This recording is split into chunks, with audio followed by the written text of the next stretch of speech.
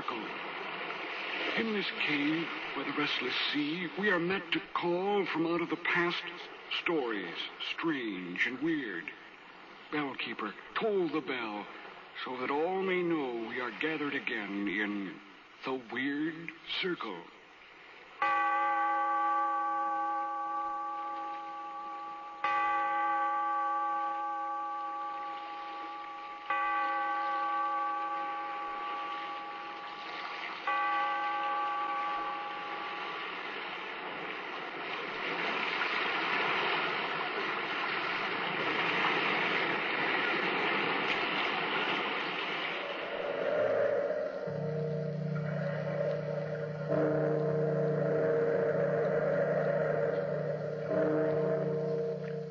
Out of the past, phantoms of a world gone by, speak again the immortal tale The Spectre of Tappington.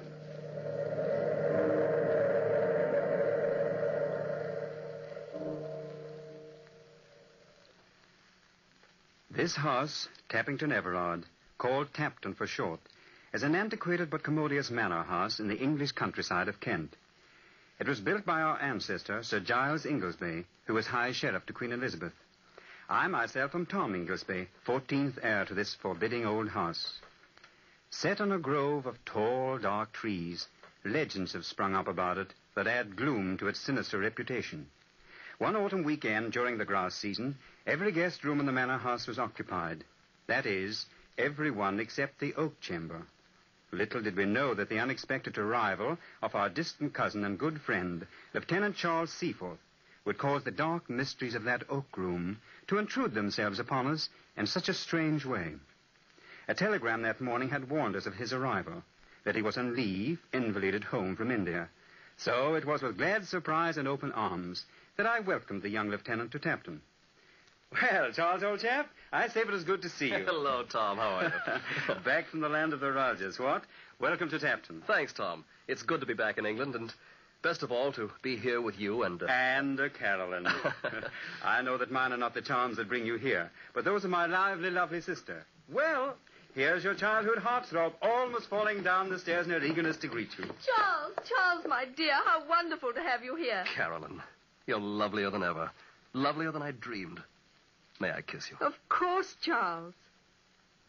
Oh, Charles, it must have been dreadful in India. Well, it was a bit of a show for a while. We uh, heard you were on the wounded list. Oh, just a tap on the old bean, a touch of fever, but I'm fit now. You look wonderfully well, Charles. Thinner, perhaps just a bit older. a broth of a boy has come back to us a man, Carolyn. And what a man. Charles, dear, we've had to put you in the oak room. Yes, as our housekeeper, old Bothersby, puts it, the house is choke full up. I hope you don't mind, old boy. Why should I mind? Sounds very important, really. Uh, is it an attic nook? Oh, no, it's the guest chamber, or always was until some rather weird stories. Oh, stories Charles, began not to... now. Oh, sorry. What we mean, Charles, is simply that the oak room is very old. Oh, but I love old rooms and old houses. Oh, what a magnificent hall. This Tapton of yours is a baronial beauty. A perfect setting for good old Queen Bess.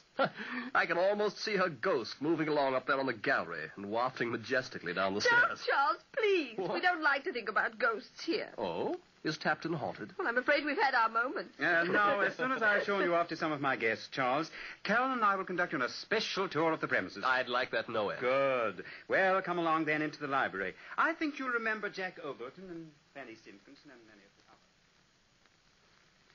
Charles was fascinated by the old manor. We showed him every nook and cranny from gallery to scullery.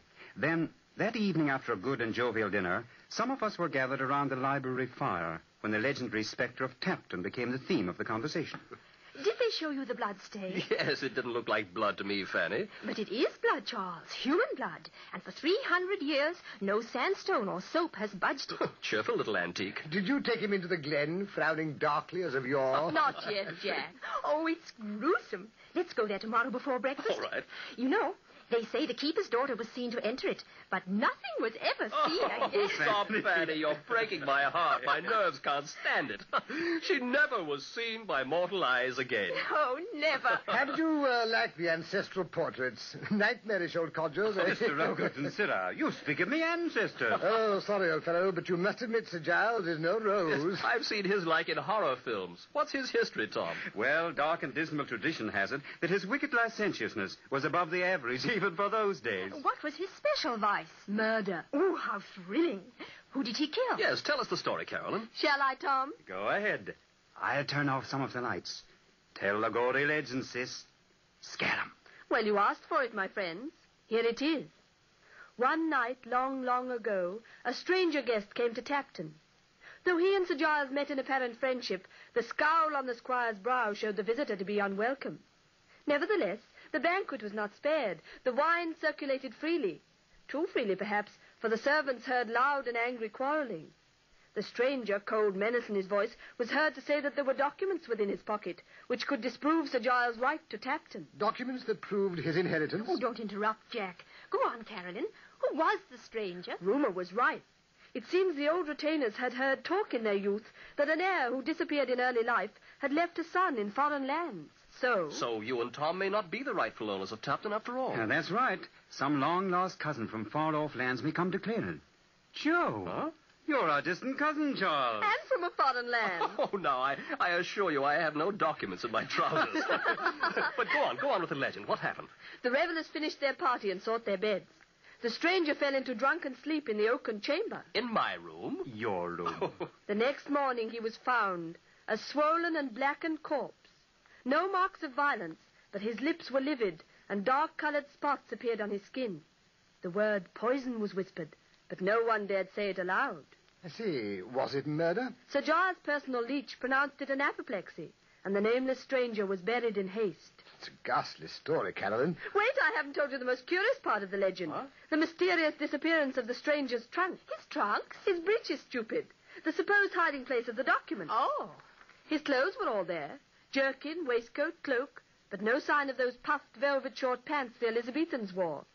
They say the evil one was in the oak room that night. And I'm to sleep in this self-same oaken boudoir, huh? Well, how about ghosts? Oh, some miracle mongers have it that the ghost of Sir Giles has been slipping out by the postern gate to the glen, searching and digging and wringing his hands. Did they ever find the breeches? Well, uh, years ago, gardeners doing some work in the glen dug up an ancient garment with uh, bits of gold embroidery, and out fell some papers, perfectly illegible from damp and age. Did they really belong to the nameless stranger? Who knows? Perhaps they did. I've just been telling you the legend of Tapton. I must say you've given me a fine build-up for a peaceful night's sleep. I shan't dare turn out the light in my room. Well, spooks or no spooks, it's early up in the morning, so I'm off to Slumberland. Ghostly dreams to you all. Oh, good night, Fanny. Good night. Well, strange cousin from foreign lands, remember the legend. After all, you may be the real owner of the manor. oh, rot. I, I don't want your old manor, if I can have its lady. Is this a proposal, Charles, dear? What do you think? I see this is my cue to exit. good night, you lovebird. Good night, Tom. And uh, it might be a good idea to lock your door, Charles. Thanks, I will, never fear. I myself wasted a few moments of healthy sleep, worrying lest Carolyn's story had disturbed my guests. But as far as I knew, a peaceful night had blessed old Tappington. And then, the next morning, as I was on my way down to breakfast, I was practically knocked down by our man McGuire bumping into me. Yeah, take it easy, McGuire. Sorry, sir. Lieutenant Seaforth ringing like one beside himself, sir. Go ahead and see what he wants. Carry on. Certainly, sir. Sorry, sir. I followed McGuire to the landing and stood watching as he knocked on the door. Come in. Ah, McGuire at last. Uh, yes, sir. Where are my trousers? Your, uh, your breeches, sir? Yes, what have you done with them? Me, sir? Why, never a thing, sir. Well, it must have been the devil then. I put them on that armchair when I got into bed, and by heaven, now they're gone. Uh, would it be Miss Caroline or Miss Fanny playing some sort of a joke, sir? Oh, not probable, McGuire. Not possible, in fact, because I locked myself in. Huh. Wait. Is there any other entrance to this room? Well, there is the secret staircase to the postern, sir. Over there. Of course. That's the way they must have come. I'll go and see. Let's see here. No, no, no chance, McGuire. Two heavy bolts, both fastened on the inside. I must say it's all very strange. Funny it is indeed, sir. Funny, McGuire? No, not too funny. We had almost finished breakfast when Charles appeared. I noticed he wore immaculately tailored riding breeches, perfect for a day on the saddle, but scarcely the costume for our planned grass shooting. However, I made no comment, as his manner was so strange. He stood on smiling in the doorway of the dining room, staring at the girls. Carolyn seemed annoyed. Come, Charles, the tea is absolutely cold. Your breakfast will be spoilt. Why are you so late? Sorry? What became of our excursion to the Glen? Uh, when I was a young man, punctuality was required of all well. When you were a young man, sir, young ladies didn't play practical jokes. Whatever are you talking about, Charles? Oh, don't mind me, Carolyn. I've just been made a fool of, that's all. Obviously, something was troubling Charles. Occasionally, he darted a penetrating glance at the girls. However, a glorious day in the field seemed to snap him out of this troubled mood. As a matter of fact, Charles took a leading part in planning the picnic we were to have the next day. There was no talk of ghosts nor any mention of legends. It had rained during the night and turned much colder, so you will understand the amazement it caused when Charles came down to breakfast next day in his uniform tropical shorts. Charles! You're surely not going to ride through our lanes in such toggery as that. You do surprise us with your costume changes. Well, what the well-dressed man will wear. he thinks he's back in the jungle, that's all. Poor lad, he's quite balmy. Look here, Ogleton, I'll thank you to. Heavens above, Charles. Won't you get very wet after all the rain? You'd better drive in the carriage with me. Thank you, Fanny. I'll ride as planned with my cousins. During this banter, Carolyn said not a word. I could see she was worried sick over Charles. However, the picnic was a great success. I wandered away from my guests because I, I wanted to be alone for a while and, and see if I could think out any reason for Charles' eccentric behavior. I was worried. Frankly worried that maybe his head wound had been more serious than he realized. I must have dozed off, for I was suddenly aware that I was an eavesdropper on my sweet sister Carolyn and her adored Charles. I started to speak, but the tone of their conversation kept me silent. Carolyn, I know you mean these crazy trousers of mine. Well, you must admit they are a bit odd. Why ever did you wear them? I'm not wearing these wretched things because I want to be different. Carolyn, my dear, something strange is going on in the oak room. Pair by pair, my trousers are being stolen. Oh, Charles, dear, how simply fantastic. For heaven's sake, darling, you must be dreaming. Carolyn, please listen to me. I'm beside myself. I was not dreaming. The first morning, I thought McGuire had taken my trousers to press them. Then I even thought you girls or Tom were playing some childish joke on me. But, night before last, and again last night, I saw the ghost. The ghost. Charles, this is too much. There isn't any ghost. You mean the spectre? I mean just that. I saw the spectre of Tapton, that bluebeard ancestor of yours. Sir Giles? Yes, Sir Giles. walking in my bedroom with his velvet cloak, long rapier, and his rawly looking hat and feather, just like his portrait. But there was one difference. What was that? His legs were the legs of a skeleton. Oh, Charles. After taking a turn about the room, seemingly looking for something, he, he, he, he took up my breeches and whipped his bony legs into them. Then he strutted up to the glass and studied himself. Why didn't you call out? I tried to, but I. I couldn't oh, somehow my speak. poor darling. It was an awful dream. It was no dream, Carolyn. It was definitely th- the ghost. For then he, he turned and showed me the grimmest, most dreadful looking death's head. It grinned hideously at me and, and then strutted out of the room suddenly. How ghastly. Oh, I blame myself, sir, for telling you that silly legend. It's given you these nightmares. This was no nightmare, Carolyn. But, dear, Tapton isn't haunted. You're just remembering that stupid story I told you. You never said one word about Sir Giles' ghost in the oak room.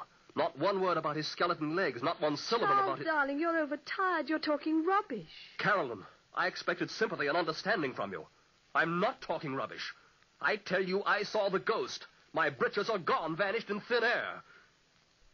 And if the ghost didn't take them, who did?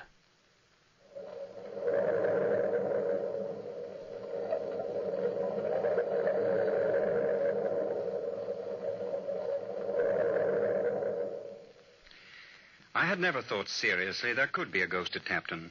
That legend Carolyn had told our guests that night had been intended as a joke more than anything else. In fact, since childhood, we have liked to spoof about our family spook. But it was evident that the story of Sir Giles had made a dreadful impression on Charles' mind. His strange costumes had merely amused us, but now Even our guests were beginning to wonder. Next morning, as we were lingering at the breakfast table over that last bit of muffin and jam, Ogleton said, I say, uh, what makes Charles so touchy? He bolted from the room just now as if the old boy himself were after him. I'm sorry I giggled at him, but Tom, I couldn't help it. Full dress uniform at breakfast. See, uh, is it shell shock, Tom? I wish I knew. When I asked him why the fancy dress, he bit my head off. I can still, still hear him saying, it's the regimental dress of the Royal Bombay Lancers, Fanny. It was regal. Blue tunic, red striped trousers, and gold braid. I haven't seen the like since the coronation. It wasn't funny to Carolyn, though. She was almost in tears when she ran after him. She looked positively stricken. Yes, my poor sister was teary eyed all that miserable day. As for Charles, though he seemed to be making an effort to be more companionable, it only resulted in his being distantly polite. To add to my own distress in the matter, I learned that Maguire, the valet, had been kicking up quite a bobbery below stairs, boasting that on the evening before he'd seen a ghost. Maguire had overheard some of our conversations, but this claptrap about ghosts had to be stopped. So that night after our house guests had retired, I rang for Maguire. You rang, sir? Yes, uh, close the door. Uh, yes, sir. Now, see here, Maguire. What's this I hear about your having seen a ghost last night? Devil a lie will I tell your honor, but last night I saw a ghost. Oh, what rot. Don't spread such nonsensical stories. Where do you think you saw this thing? Well, sir, we went last night for a bit of a stroll to the Glen. We? Uh, myself and one of the maids, sir. Yes, That yes, is- yes. Get on, get on. To see the moon it was, sir. But we saw more than the moon, sir. In the shadows was a terrible ghost. What sort of a ghost, man? A tall gentleman he was, sir, all in white with a shovel on the shoulder of him and a big torch in his fist. Though what he wanted with that is myself can't tell, for his great eyes were like big lamps. The maid screeched holy murder and ran off with herself, and me after her. And the ghost after you, I suppose. No, sir. The ghost vanished in a flame of fire. Now, McGuire, don't try gig lamps and flames apart on me. You're making all this up. Jove, I believe you're the spectre yourself. Me, sir? Is it myself, then, that's a play-acting ghost in your honour's thinking? Mm, What your purpose is, I can't guess. Stealing Lieutenant Seaforth's trousers and all that. As of a soul, sir, I stole nothing. No, but you're mixed up in some way with their disappearance. It is the ghost, sir. I know it is. I saw him. There isn't any ghost, Maguire. And don't go about frightening my guests with any such tale. That's all for now. Yes, sir. Good night, sir. I felt a strong compulsion then to go to the oak room. I wanted to know if Charles was all right. Immediately McGuire had gone, I left my room hurriedly and ran up the short flight of stairs to the oak room. I listened a moment, then rapped loudly on Seaforth's door. Charles! Charles! Yes, who is it? It's I, Tom. Oh, hello. Come in. I, I was just about to turn in. What's up? You all right? Of course. Why? Well, Carolyn's told me about this ghostly visitor of yours. Look here, you haven't seen him tonight, have you? No, no, no. Forget it, Tom. I'll make out. Don't bother about me. Go on to bed. All right, cheerio, old pal. Just wanted to make sure the goblins hadn't got you. Good night. And then, the very next morning, as I was shaving, my door was flung open and in burst Charles. Inglesby, this is now past a joke. Where are my trousers? Good grief, Charles. What's the idea of yelling at me? You've, you, you've made me cut my chin. Oh, confound your stupid chin. Another pair of trousers are gone again. oh, heavens, this is too good. Don't tell me the ghost got the regimentals, too. Laugh if you will, they're gone. Now I've looked everywhere. What have you done with my clothes? I? Charles, I'm as mystified as you are. In all seriousness, Tom, aren't you putting over one of your famous hoaxes? I swear to you I've no hand in this skullduggery. Well, then your ancestor's ghost has, and I've had all I can stand. Now, you'll simply have to lend me a pair of your trousers. Well, take all my trousers. And get out of here. You're in no mood to talk sense. All right, as you so politely put it, I'll get out. And in your trousers. In spite of the ties that hold me here, I'm leaving Tapton today. Uh, Seaforth, uh, wait a moment. Now I was really afraid that Charles' mind was unhinged. I dressed hurriedly and rushed downstairs. Hearing noises in the library, I, I went quietly to the door and listened. Darling, please don't leave for my sake, please. Carolyn, I, I can't stay, I tell you. As surely as I love you, that spectral anatomy came to my room last night, grinned in my face, and again walked off with my trousers. Obviously, Charles, it's an insane trick. If it is a trick, What do you mean? I've decided it all has to do with the ownership of Tapton. What? Yes, as you and Tom both said, I am your cousin. I have been in foreign lands. But I'm not claiming Tapton. One of you is trying by inhuman means to frighten me to death. Poison. Yes, mental poison. But you won't get away with it. You won't. Stop, darling, stop. How can you believe such things? Oh, Tom, I'm so glad you were listening. Talk to him, please. Charles, Charles, oh man, you're so wrong. Why, you're my oldest friend, and Caroline loves you. You know that. Now, come on. Forget these black thoughts. Go for a walk and, and let the sun and the wind drive this fog from your mind. Please, Charles, don't talk any more about leaving. Let's fight this thing out together. I. I don't know what's got into me. Very well, Carolyn. I'll stay. That's fine. Don't worry, Carolyn, dear. I'll try to be a model guest. See you at lunch then, darling. Oh, Tom, isn't it awful? Whatever will we do? I do love him so. I was mad clear through and determined to scotch this ghost business once and for all. I knew that the oak room had a secret cupboard in the paneling, so that night I decided I must hide there and spy on Charles. I slipped away from my guests and, tiptoeing through the dark gloom of the oak room, I, I groped my way into the closet. Suddenly, my, my hands touched soft human flesh.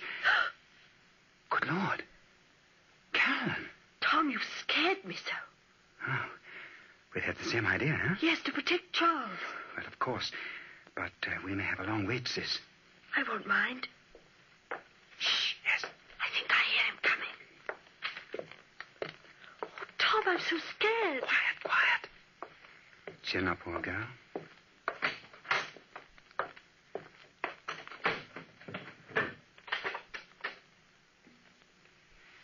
Charles got himself ready for bed, started to take off his trousers, then suddenly put them on again and flung himself into bed. He had left the night lamp on, which was lucky, as thus we could see more easily. After waiting for what seemed hours, Carolyn suddenly touched my arm. Look, he's sitting up. Shall we speak? No. No, not yet. He's turning this way. Good Lord. He's asleep. Yes. His eyes are wide open, but they stare senselessly, like dead eyes. He's out of bed. Huh? What did you see looking for? He's got a torch. Why, he's looking at himself in the mirror. Tom, he's going to the secret staircase. He's opening the door. Come along, we've got to follow him. Not too closely. Hurry, hurry, please. We hurried after him down the stairs and out to the postern gate. We saw him enter the glen, and then as we came closer, there was Charles with a spade, digging.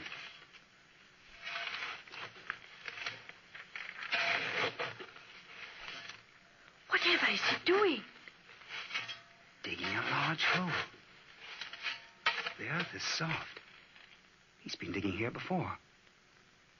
Look, he's removing his trousers and and burying them.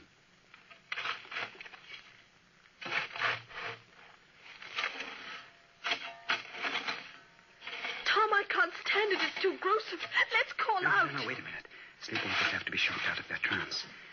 I'll wake him as he turns towards us. Well, here he's coming now. Now! Ooh. Oh. Tom, what have you done? You've killed him. But I hadn't killed him, though I had hit him hard, and then I realized. We called for help and carried him to the Great Hall. He was still unconscious when Dr. Austin arrived. We waited anxiously during his examination. Finally, the doctor came towards us. Well, Tom, our young lieutenant is coming around nicely. Oh, what a relief. Oh, Doctor, is he going to be all right? Of course, my dear. Then it was shell shock, Doctor? Not exactly. I think that head wound and the fever combined to give his subconscious overactive control of his mind. And when I hit him, Best thing you could have done. You put that subconscious in its place. I think it's safe to say that he won't sleepwalk anymore. Oh, Look at Charles. He's sitting up. what? Where? What? Oh, why are you all staring? Why am I here? Oh, oh, my jaw. Don't try to speak, dear. You're all right now. Well, I should say I was. I, why, I feel as if a load had been lifted from my heart. Oh, oh. Oh, I remember my trousers. yes, Charles, you've been busy burying trousers. In neat layers, riding breeches, shorts, and even those beautiful regimentals. that I've been haunting myself. Yes, dearest. You are the spectre of Tapton. Oh, my love. Can you ever bring yourself to marry a spectre? Darling, I love ghosts. oh, I begin to catch on. Wedding bells are in the offing. Yes, and with my blessing. But, Charles, if ever again you feel inclined to jump out of bed and ramble out of doors, there's one thing I'd like to suggest. Wh- What's that, old boy? I recommend that Carolyn wear the trousers.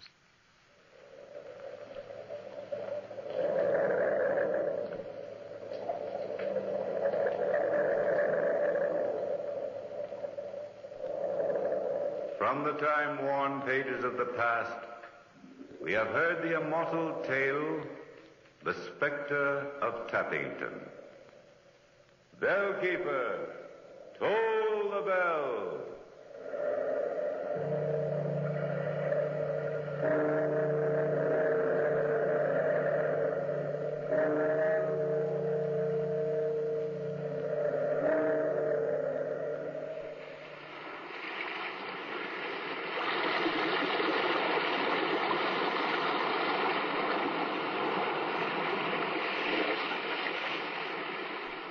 From the time-worn pages of the past, we have heard another immortal tale in The Weird Circle. Bellkeeper, toll the bell. Be here in this lonely cave by the restless sea once again next time for another immortal tale